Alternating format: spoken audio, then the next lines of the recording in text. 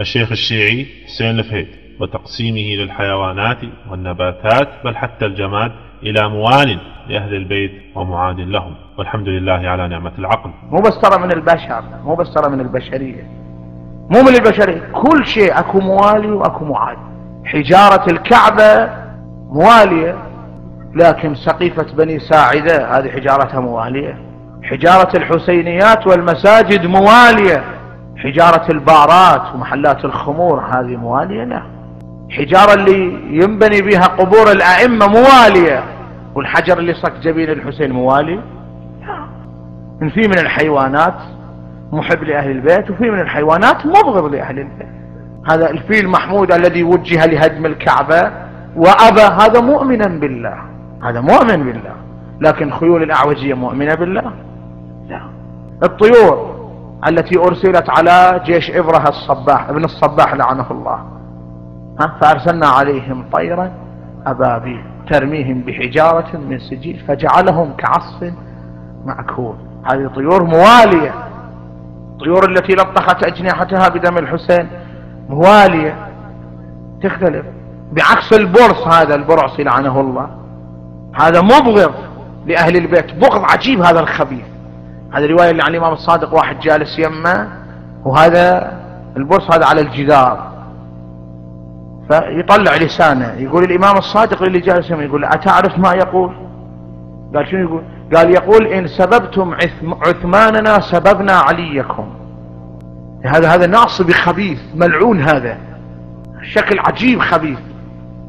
هذا خبيث ملعون.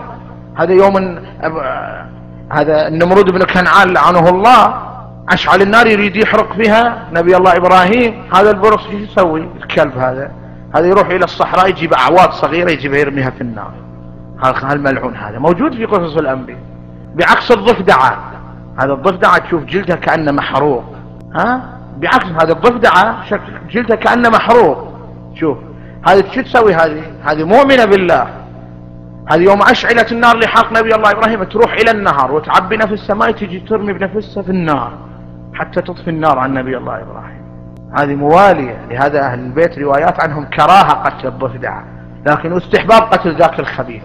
الكلاب والخنازير والقردة هذه كلها مبغضة لأهل البيت. معادية لأهل البيت. ففي حيوانات معادية وفي حيوانات مبغضة. حتى في النباتات. حتى في النباتات. ما طاب طعمه موال لأهل البيت وما خبث طعمه مبغض لأهل البيت. ربما أصل النبات مثلا من أصل خباثة الطعم. مثلا المر. إذا كان نبات من أصل مر هذا لا موالي. لكن إذا لا والله المتعارف عليه أنه حلو. لكن طلعت واحدة مرة. هذا مخالفة لأهل البيت.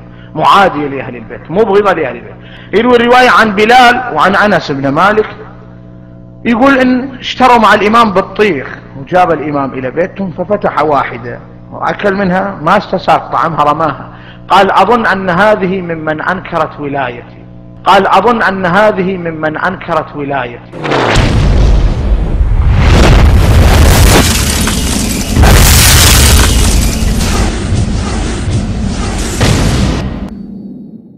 العفو سيدنا ما أنك تطرقت إلى الحوزة وإلى المراجع.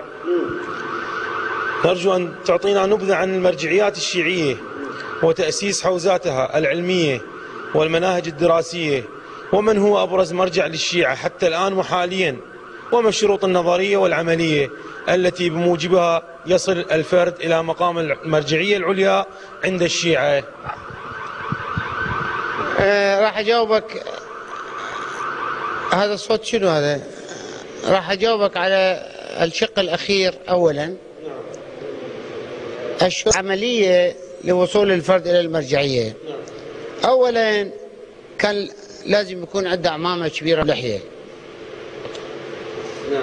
ثاني شيء لازم عنده جماعة بطانة شاطرين يعرفون نعم. يعزلون يهرجون يسقطون نعم. ينزلون يصعدون إعلام متصلين بالأجانب بالحكام المحليين بالخارج ثالث شيء المهم لازم عندهم فلوس يوزعون على كل الناس. هذا يصل. هاي الشروط العملية.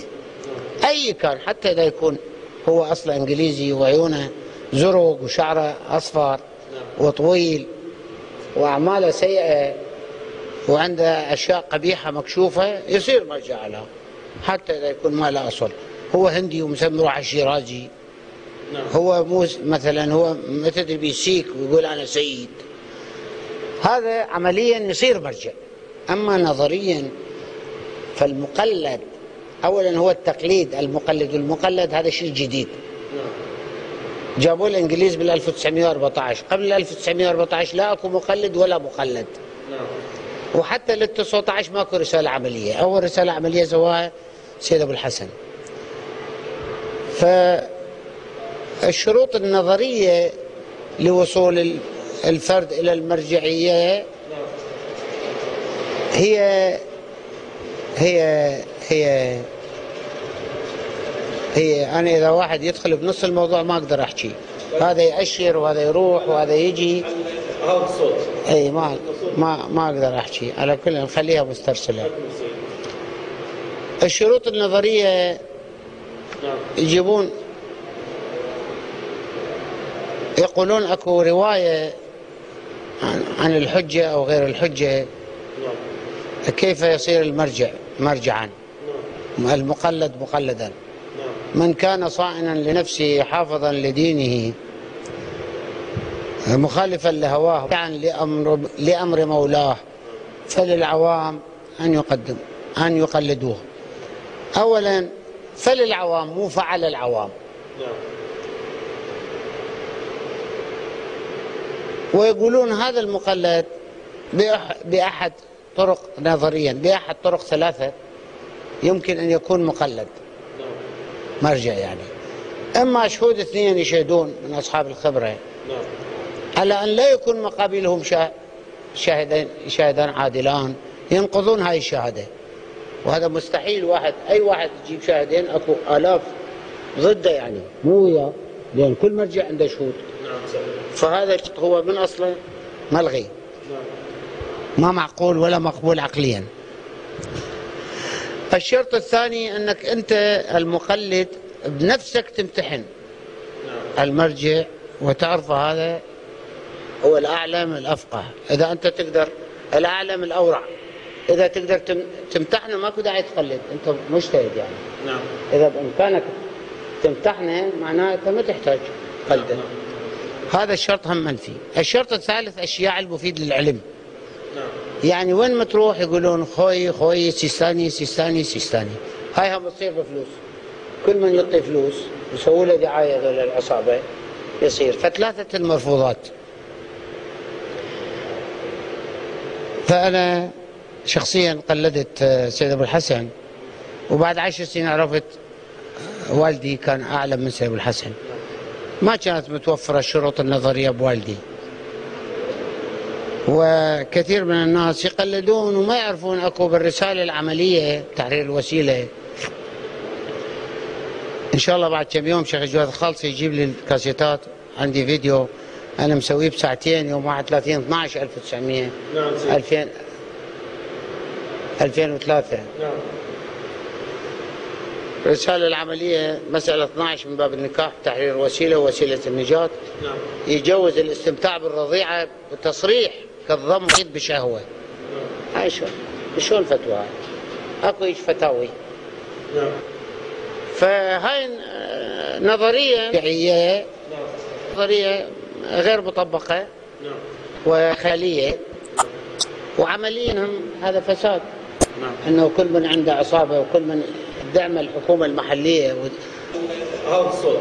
إي ما ما ما مرجع. فالناس في مضللون فهمت؟ الناس مضللون المقلدون مساكين ما يدرون شكو ماكو فهمت علي؟ مشاهد